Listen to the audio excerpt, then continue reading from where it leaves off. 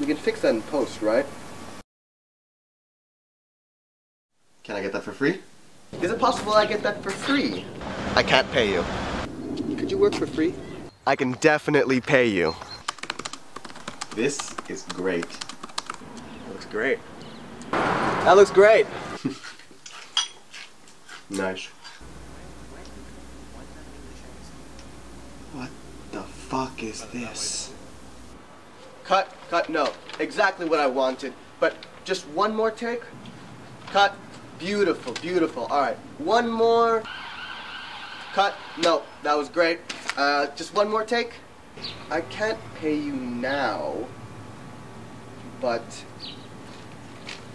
What did you shoot on? What did you edit on? Did I meet you at Dov Simens? Was it at Robert McKee's?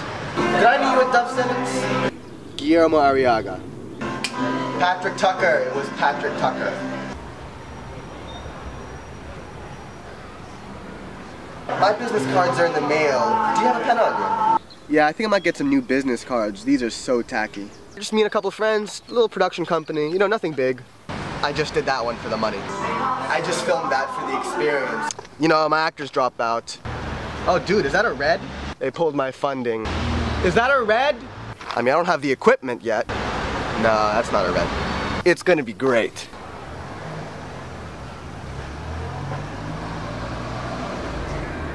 I'm just looking for a good DOP. I'm looking for a good grader. I'm just looking for a good sound guy. What?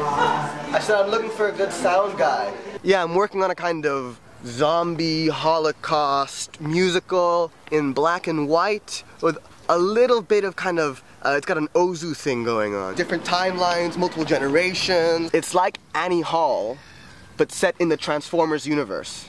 It's a real crowd pleaser. Oh look, it's Elliot Grove. He knows me pretty well. Hey Elliot. Elliot. Elliot.